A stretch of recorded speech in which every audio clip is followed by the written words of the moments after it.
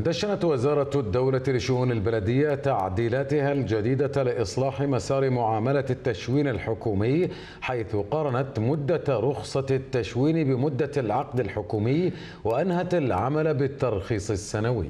وقامت القطاعات المعنية في بلدية الكويت بإنجاز البرنامج الإلكتروني الخاص بإصدار رخص التشوين للمساحات بهدف تسريع عجلة التنمية في الدولة مراعية تقليص وتبسيط تخطيط الدورة المستندية.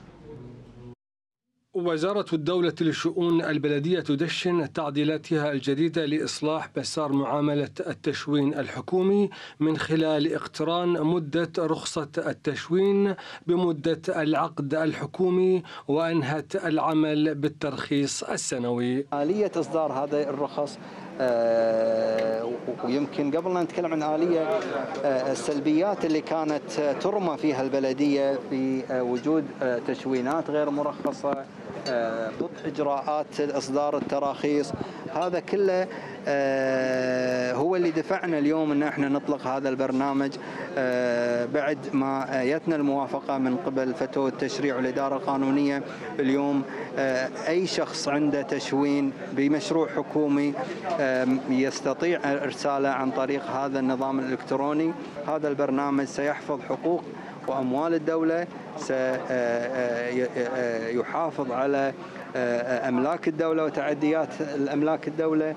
أعتقد إحنا قدرنا إن إحنا نغطي كل الجوانب. يعني اليوم المراقب بعد إصدار الترخيص يمكن من خلال جهاز التليفون يشوف أي موقع إذا كان مرخص أو غير مرخص. القطاعات المعنية في وزارة الدولة للشؤون البلدية أنجزت البرنامج الإلكتروني الخاص بإصدار رخص التشوين بهدف تسريع عجلة التنمية في البلاد وتغليص الدورة المستندية حيث تم إصدار قرار وزاري لتسهيل آلية التشوين إلكترونيا. محاولة الانتقال من العام بالأعمال من النقل من اليدوي إلى بحيث أن يكون أونلاين. طبعا راح يخفف على المواطنين كلهم. مو بس على المقاولين إنما على المواطنين بشكل عام. لما يتقدم أي مواطن يحاول ياخذ رخصة التشوين. عادة هذه كانت في السابق تاخذ أشهر.